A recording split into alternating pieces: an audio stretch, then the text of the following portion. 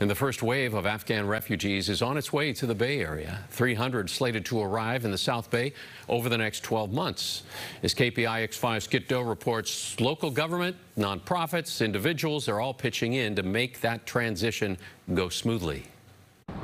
We are seeing people all across the Bay Area step up in traditional and creative ways to help out these Afghan refugees, starting right here in Santa Clara County, which just devoted nearly a million dollars in new funding. Vice President Ellenberg. Yes. And the vote was unanimous. Thank you. Santa Clara County supervisors increased the funding for the International Rescue Committee with an office in San Jose and Jewish Family Services of Silicon Valley from $185,000 to $250,000 each per year.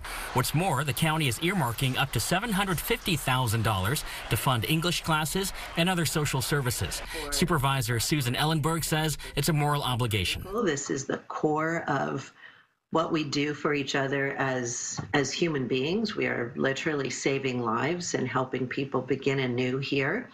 And I wanted to do what I could to help make that easy for the folks that are doing the hard work of resettlement. In San Carlos at My Breakfast House, owner Keiki Chang is hiring a busser and a greeter. Everyone is welcome to apply, especially Afghans. If they need a job, if I have a job opening, yeah, welcome to apply a job here, work here. As an immigrant from Taiwan herself, Keiki says it's the right and decent thing to do.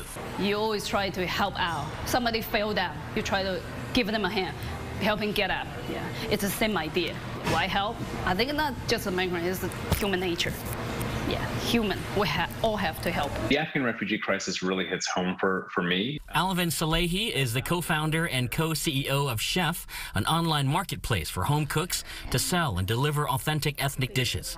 Local chef Layla cooked 100 free meals for Afghan refugees who had recently arrived in the Bay Area. And what's more, Shef is waiving all fees for any refugees who join and will be giving a $3,500 stipend to spend on cooking tools, supplies, and marketing. Many of them have come to the the US under incredibly difficult and devastating circumstances, my hope is that we treat them with kindness. My hope is that we actually try hard to show them the America that they've always dreamt about. Kiet Do, KPIX 5.